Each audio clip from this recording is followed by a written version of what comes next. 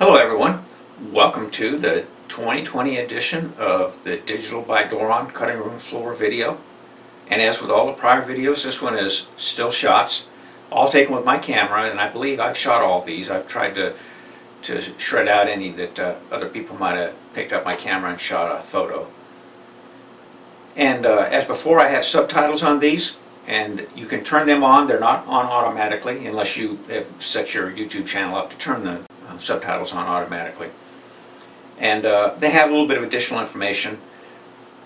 They do cover up a little bit of the photos sometimes, so uh, you may you may want to watch the video twice. Yay. More counts. Getting close to that million views if you have been paying any attention. I'm not very far away from that at all, in fact. Anyway, I just want to invite you to hang around after the video.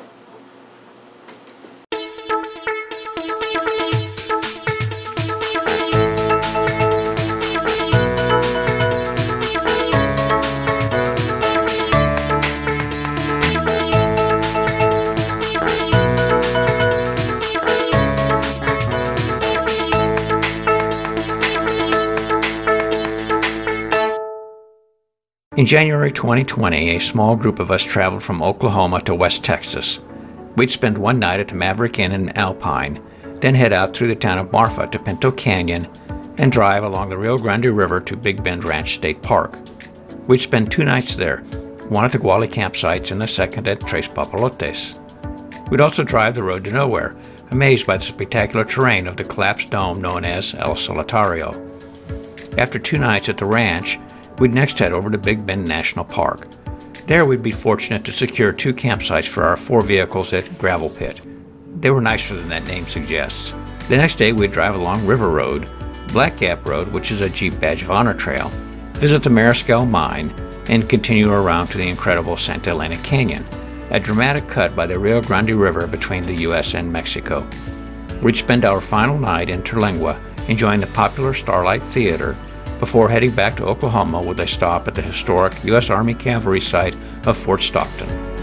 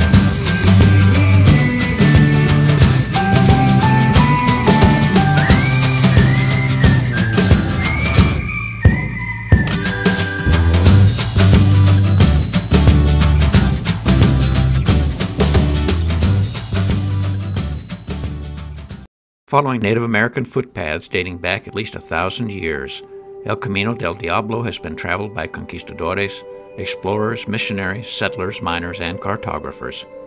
Also known as Camino del Muerto, the Road of the Dead, crossing the Devil's Highway exposes one to unforgiving terrain and potentially unforgiving conditions that have historically been the cause of death for many of its travelers. In February, a group of us from Arizona and Oklahoma received permits to cross this amazing stretch of history that runs between Ajo and Yuma, just north of the U.S. Mexican border. We drive through Cabeza Prieta National Wildlife Refuge and the Barry M. Goldwater Bombing Range, spending a night in each.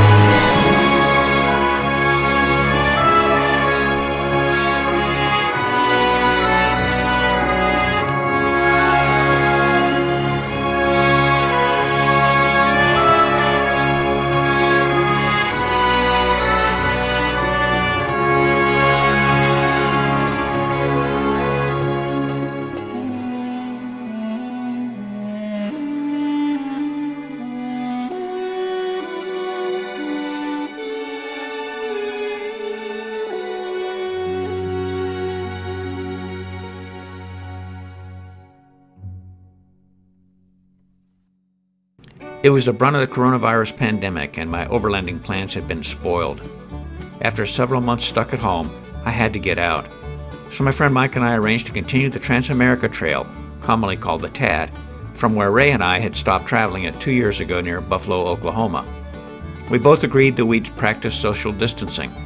We wanted to demonstrate how one could still get out across this amazing country and remain as safe as possible. The trip was from Fort Supply, south of Buffalo near the Oklahoma Panhandle, where we'd camp on night one, to Natural Falls State Park in eastern Oklahoma. One of my goals was to address the reputation that Oklahoma gets from those who drive the full length of the TAT. That is, it's flat, the roads are straight, and there's lots of boring miles. So we travel off the TAT here and there to visit something interesting, including the Sod House Museum, Little Sahara State Park, the Great Salt Plains, the Twister Museum in Wakita, the Tallgrass Prairie Preserve, Osage Hills State Park, and Natural Falls State Park. On a couple nights, the weather would assail us with winds and lightning, heavy rains, and even hail, making our travels that much more challenging.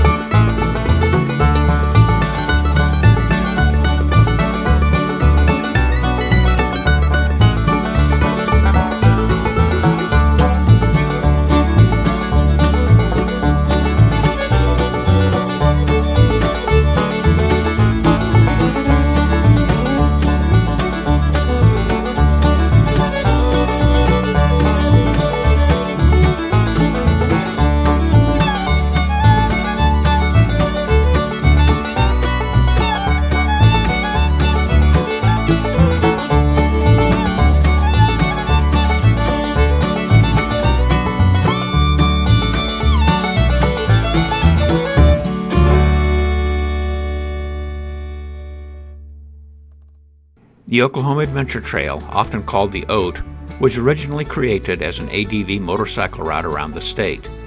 At over 1,400 miles in length, it's suitable for two-track travel.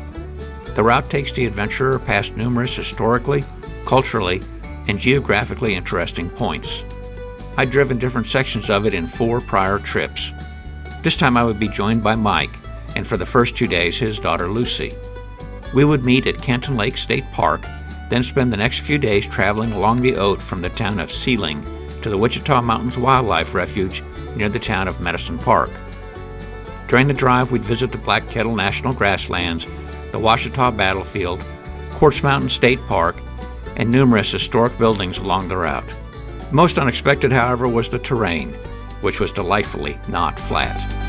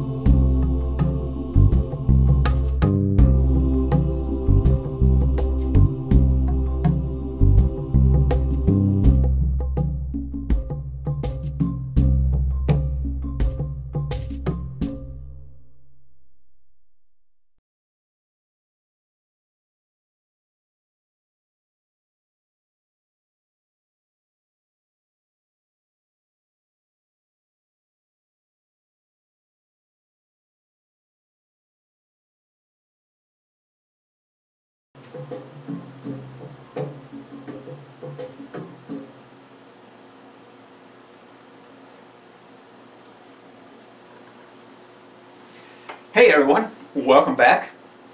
And I think I've got the video itself all set to go. I just need to add what I'm recording right now onto it.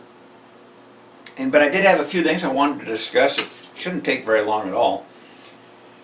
And uh, I guess the first thing I want to talk about is, for those of you who aren't really active with uh, as content creators on YouTube, YouTube has changed their uh, policy regarding advertising on channels. And I've never had advertising on my channel. If you saw ads, it was because there was a dispute over copyright, uh, uh, who owned copyright on material, and, and so it, sometimes those took me a couple of weeks to get resolved before the ads would be removed. Uh, I have never used anybody else's copyrighted material on purpose. Uh, there was one inadvertent instance where the gentleman gave me permission but did not tell me that he actually did not own the copyright even though he was the performer. So uh, that's all been sorted out. Anyway, the new YouTube ad policy is they can put advertising on any video they want. So if you see advertising on my videos, they have nothing to do with me. I have no control over that, whether you see them or not, and what you see. I have no control over that. And I receive no funding for that. You got any complaints about advertising, send them to YouTube. But in reality, I understand what YouTube's up to. They're offering me this, this platform on which I can put these videos, and I have an awful lot of content on here now, a couple hundred videos up here now, and uh, they, they want to make a little bit of money off of it. So yes, I probably help attract some people to YouTube, but I don't give them any direct money other than, unless they go watch some other video, which of course they're going to recommend. The next thing I want to talk about is uh, mod work, and I haven't been doing a lot of mods. Uh, 2020 was one of them kind of years for a lot of us. And uh, I'm uh, through about, well, I'm not going to put a dollar value on it, but uh, basically let's just say that uh, my mod money for the Gladiator got used up for a new roof for the house, a new fence around the house, a new dishwasher, a new microwave, and a new heater and air conditioning system. All of that had to be done this past year. And uh, some of it I had anticipated and had been saving up for, and some of it was not anticipated and I had not saved for. And of course I have emergency funds, and I use some of that, and, and of course I have uh, funds that I had saved to, to do mods on the Gladiator, and I used a lot of that. So, but I'm getting back, getting back uh, into that, and there's going to be some things coming up on the Wrangler, believe it or not. I got some, some things that I've uh, got going on there. Some pretty neat things. And there'll probably be a few things on the Gladiator as well. Although I'm not using the Gladiator as much for overlanding. I did take it on two, well, half these trips. Uh, there's four trips in this video, and I uh, took it on two of the trips, and I took the Wrangler on the other two. And uh, then the last thing I want to talk about is uh, other video projects. I have some really old videos. You may not have even watched them before, and uh, I never really prepared good uh, teasers for them. One, I have a teaser my daughter gives me about a seven and a half minutes long. She says, what kind of a teaser is that? it's like, well, a long one. so uh, I have I have several videos like that. I'll be making new teasers uh, for them. And so you may see them pop up if, if you're a subscriber and you get notified. And uh, it, it's old content. It's not it's not new content. It's just I'm going to create a teaser where one didn't exist, or I'm, in the case of that lengthy one, I'm going to shorten it. So you can see that. And uh, during 2020, one of the things that happened here at my house was a big ice storm. And uh, got, I got a lot of kind of neat pictures of that ice on my, on my Wrangler, on my Gladiator. There was a lot. And uh, it was actually two storms two days apart. Uh, the first storm came through and actually caused a lot of damage. It was so early in the season that the trees had not dropped all their leaves. So therefore the ice got on the leaves and therefore the limbs were a lot heavier than they normally would be. And they got pulled down. So I don't know, it was over 300,000 people in the Oklahoma City Metro without, without electricity and, and, I was one of them. And I was without electricity for uh, about eight days. Um, I lost a lot of food in my refrigerator freezer. And uh, I, uh, it was cold because didn't have any heat, didn't, uh, didn't have any lights. uh, other than a flashlight. So I, I did a couple things. One thing was I bought a generator. Uh, it took a few days for that to be delivered. And in those few days, I, I used a Wrangler to, to keep my marine aquarium Now I have a marine, a saltwater aquarium. I have two aquariums. The other one's right over here. It's a freshwater. And uh, the saltwater aquarium's over in the living room. But uh, the, uh, the freshwater aquarium can do okay when it goes without electricity for a little while. But the marine aquarium doesn't do so well. The corals, the, uh, the livestock they're in, the snails, the fish, the uh, shrimp, and so on, uh, they don't like being without that circulating water and the chemistry being correct. And uh, that the uh, corals need light, uh, the correct kind of light.